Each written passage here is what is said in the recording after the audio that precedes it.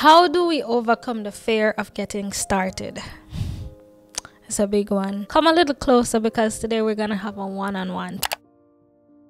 I know that for many of us, there has been times where we've wanted to start something, whether it's a new job, whether it's a new hobby, whether it's starting to travel, whether it's to undertake something that we have not yet undertaken or we haven't undertaken in the past. But for a lot of those times, doubt seeps in and we start to question everything and we have this idea of wanting to start, but it actually never happens. The thing about us as humans is that we oftentimes get scared scared whenever we're presented with something new or foreign or whenever we're thinking of doing something out of our comfort zones. This usually happens because of this thing called fear. Listen, before I started this YouTube channel, I was so scared to get started. I was scared of social disapproval. I had questions of what if they don't like me?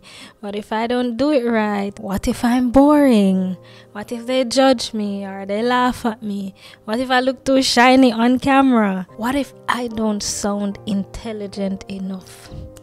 That was a big one for me. And a lot of people don't know this about me, but I've always been afraid of public speaking again because of self doubt and the fear of public disapproval. But thankfully, speaking so much on camera has definitely helped in that department. So I'm not as scared as I used to be, but it definitely took practice to get to where I am now. I mean, I've had all the thoughts that many of you are now having about starting a YouTube channel or building a social media presence or creating content or different things like that. I've had, I've experienced all of it because we're all human, right? I've wanted to start and took way too long to start, you know, and thought about and convinced myself of all the reasons not to start.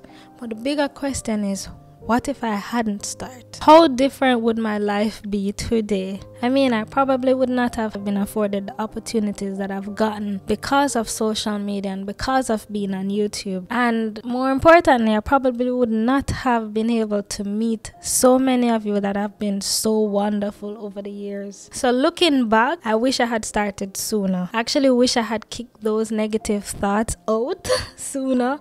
I wish I had believed in myself a whole lot sooner and get started. And it's not just with YouTube, it's also with other business ventures and other ventures that I've undertaken. At some point, there was the fear of something going wrong. Even with doing the tiny house series that I showcased on my channel just a few months ago, I've never done something like that before and I've never seen it done. So it was very scary going into that. I had all the doubts and also had some negative comments in when I was just starting because others didn't understand what my vision was. But I could not allow that to stop me from trying. And thankfully I did because it turned out to be as beautiful as it is and has been one of the best projects that I've undertaken to date. And I'm so happy with it. I'm happy I did it anyways, despite or in spite of having those thoughts. Doubts and thoughts settling in so many different ways. Hell, I mean, I moved countries. I moved to a whole new country, and there, there's a whole thought process that went on. That like, what if it doesn't work out? What if I'm not able to assimilate into the country the way that I want to? What if, you know, there's so many negative things there, and so many negative thoughts, and so the the fear and the doubt and the, all of these that could have prevented me from taking on this beautiful journey that I've taken. The good thing is that in each of these situations, there came a point where I had to gather myself and to just take that step forward and to just get started because the truth is we'll never know the outcome until we take the action. And you see the thing is the thing is that we get so caught up in not starting or not doing that thing that we say we want to do because of this, and it stifles us. But when we do take that action, that's when things happen. And in most cases, things turn out exactly how we wanted to, or even better than we wanted it to. And in the cases where it doesn't turn out the way that we wanted to, we use that as a lesson to better ourselves for the next time when we try and just understand that you know it's just a part of life. So let's bring it back to YouTube now. I get a lot of questions from you guys about starting YouTube daily. A lot of people want to know how to do it, and a lot of people hold on to these many excuses of why they haven't started yet. You know, I want to do it, but I'm scared. I don't have the best camera, I don't have the best lighting, I don't have the editing softwares, I don't have the pretty setup and the background and the blue lights over there, and all the all of this. I hear it all. I get it daily. I also get that I want to start a business, but I'm too scared to start. I want to do a podcast, but I'm afraid of how I sound. I want to do the videos, but I don't like how I look on camera and all the whole works. But here's what I want us to start doing. Whatever the thing is that you want to do, begin to dissect it into small bite sized pieces break it down into manageable steps so that you can tackle it one at a time.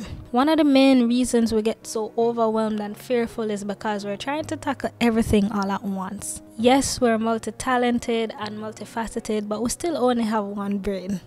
And while it can do many things at once, let's start with one at a time.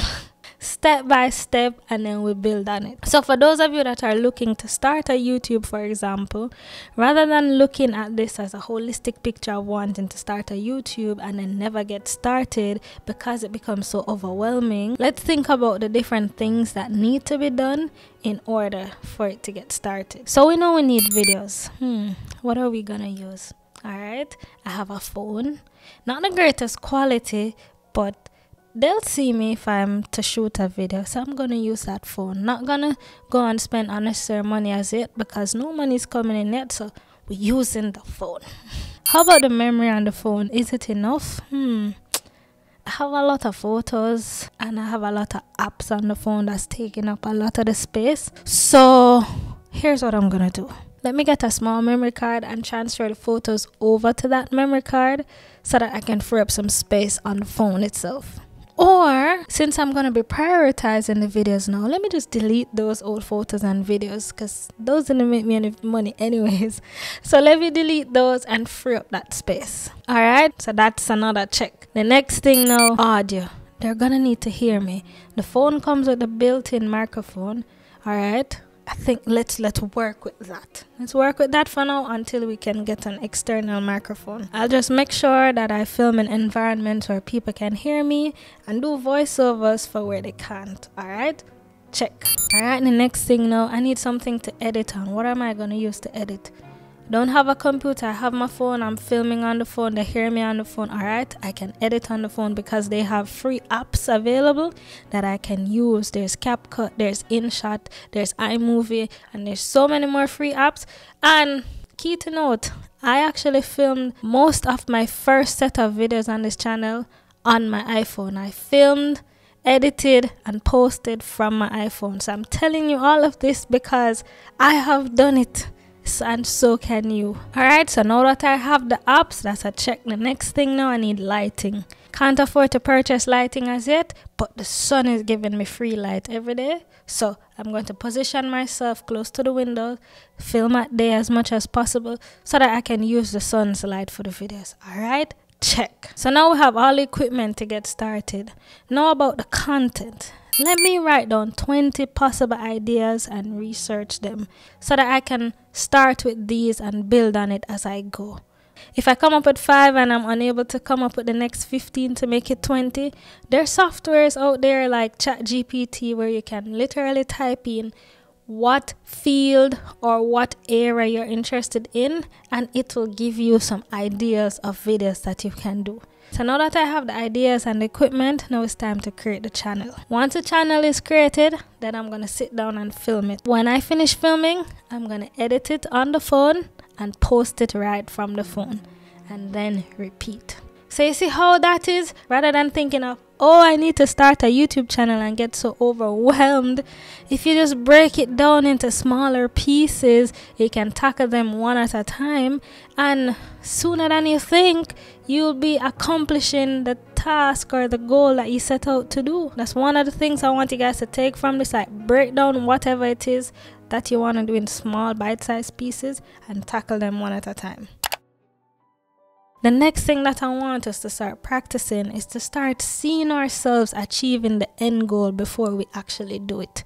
Start to visualize it, start to manifest it, start to operate like we've already achieved it. Kick the fear of failure to the curb and focus on the win. Imagine how proud you'll be once you accomplish this. Start to imagine how you'll feel. Start to think about how much happier you'll be once you've accomplished what you set out to do. Start to get in that mindset and that mind frame of success. It's also helpful putting yourself in circles with other people who are either already successful or are working towards becoming successful, and that will encourage you to keep going. The next thing I wanted to understand is that with trying anything new, failure is a possibility, and you have to be okay with failing.